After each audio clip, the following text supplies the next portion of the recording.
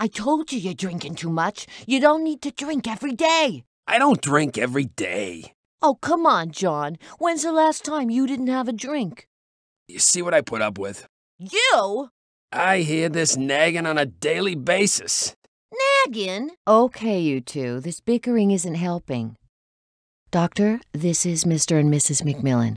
I was just asking Mr. McMillan about his chest pain. So, when did the pain start? It was about uh, 15 minutes before I got to the hospital. Can you describe your pain? I got this squeezing right here in the middle of my chest. On a scale of 1 to 10, how would you rate your chest pain? A 10. Oh, dear God! Oh, jeez. You really think I'm gonna die, don't you, Doc? In an ER? No. No. My mother had uh, open heart surgery about seven years ago. She's, uh, uh, she's 72 now. No. No, I don't. Yes, it does. Uh, it, uh, it starts in the middle of my chest, and then uh, to my left shoulder, and then to my jaw. We ate it around uh, 7 o'clock tonight, and uh, had two cocktails with dinner. No. No, none that I know about. Today is uh, Tuesday. They're just doing their job, honey. No. Airway appears clear. No obstructions.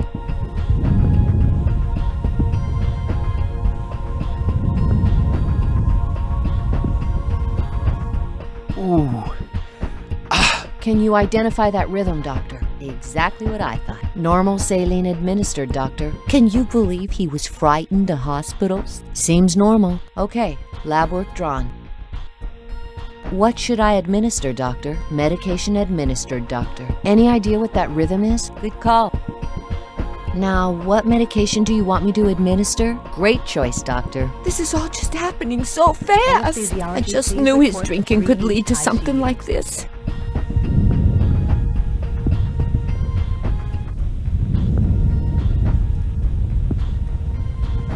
Lungs clear. Which one of these meds does the patient need? Looks like someone paid attention in med school. Nice work, doctor. Pulse is present. Dr. Thompson, please dial extension 7124. Dr. Thompson, extension 7124. I can tell she loves him. Everyone goes through rough times, right? Now, what medication do you want me to administer? Medication administered, doctor. You made the right decision. You know, sometimes you make it look easy.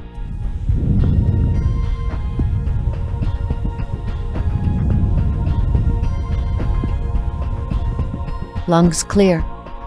What should I administer, doctor? Medication administered, doctor. Nice assessment, doctor. Yes, I think he is looking better. This patient's lucky to have you, doctor.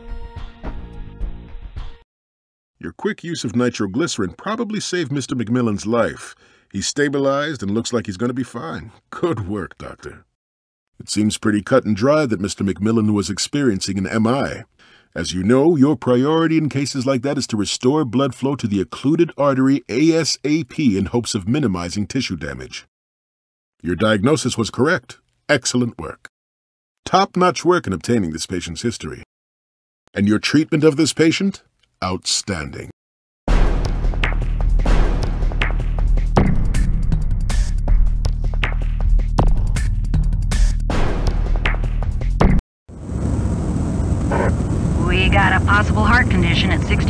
6114 Bradford Drive, Do you have a cross street? Washington. A 75 year old male is complaining of dizziness and weakness. Roger, on our way. Hello, sir. How are you feeling? Oh, I felt better. What's your name? Harold Witzel. Can you tell me why you called us today, Mr. Witzel? Well, I was changing clothes and I got dizzy. Dizzy and weak. How do you feel now? My legs feel like jello. I was getting ready for a doctor's appointment. What's the visit for? Just a checkup.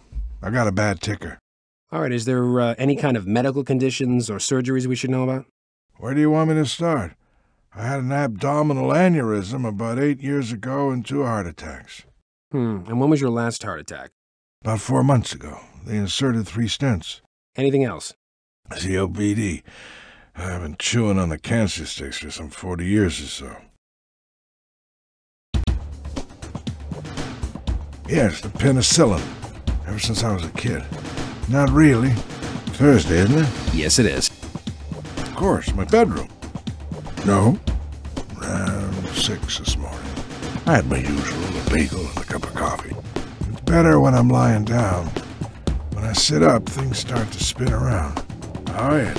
Atroid, nitroglycerin, Xanax, Lasix, um, Lanoxin, and Klor-Con. I was feeling more tired than usual the past few days, but today's when I started to feel dizzy. Well, according to what Mr. Witzel said, he's got a history of heart problems. Legs went all wobbly and everything went dizzy. Time to set the flow rate. Hmm, complaining of dizziness and fatigue. I know, I should have quit smoking years ago. What do you think that rhythm is? You're a trooper, Mr. Witzel. Do you think I'm gonna be all right? Keep it going, you're in the groove. He's losing consciousness, so which one of these should we give the patient? Good choice. We're here for you, sir. Pulse is going up.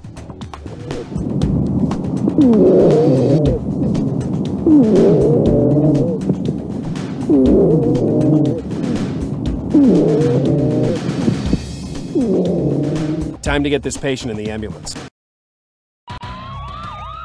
Okay, which one of these should I administer? I'm liking what I'm seeing. I've seen my share of doctors, so I know a good one when I see one. What did I say, Mr. Witzel? You'll be up and around in no time. I think I do feel a little better now. Well, I guess I owe you my life. Not very good at times like this. Thank you. Mr. Witzel was typical of patients with bradycardia. Most patients don't become symptomatic until their heart rate drops below 50 beats per minute. Well, I see we're in agreement about this patient's diagnosis. Top-notch work in obtaining this patient's history. This patient was in good hands with you. Your treatment was first-rate.